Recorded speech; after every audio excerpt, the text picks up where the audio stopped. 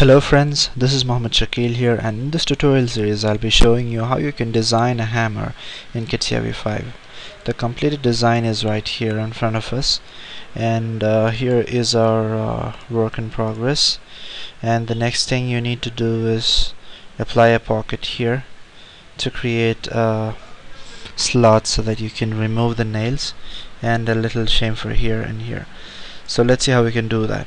Firstly, select this plane and go for create plane and just go for the option angle normal to the plane. Select this as your edge. Uh,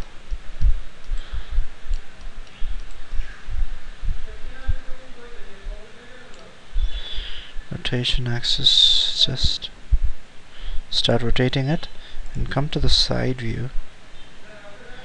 So you can see where you're creating the plane. Just use the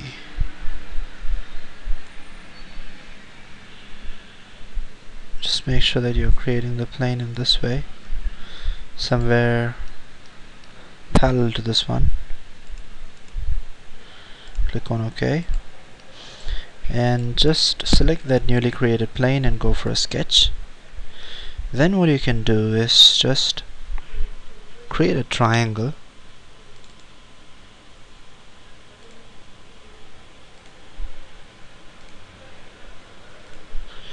And then just coincide them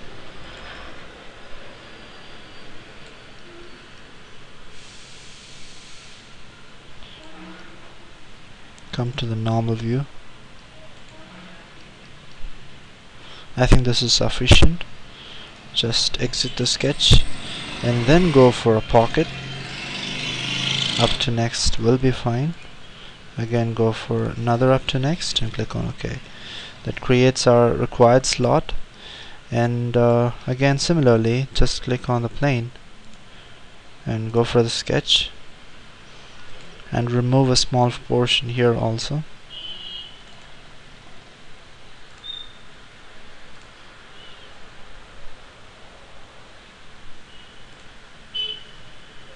Just project this line and use the dimensioning. This point should be coincident with this line and this point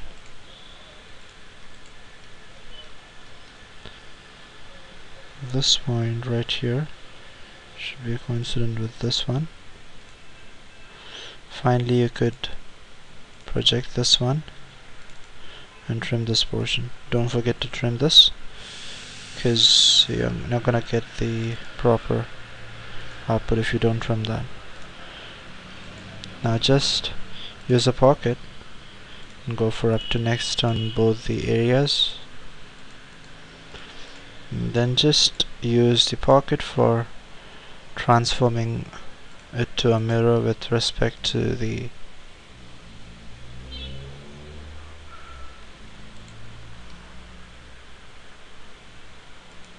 YZ plane that creates the cut on both the sides and that completes the design of our head of the hammer. And I hope you enjoyed this tutorial series and let's see how we can go for the handle part in the next uh, part of our tutorial. And if you have any doubt on this one please comment below the video and I'll be getting in touch with you. Please feel free to communicate with me. I try to communicate with uh, all the people all the subscribers but uh, if I'm not able to uh, reply any of your mails I uh, know I apologize you for that and I'll be doing that as soon as I can. And uh, if it's an important thing please send me reminder mails and I'll be getting in touch with you.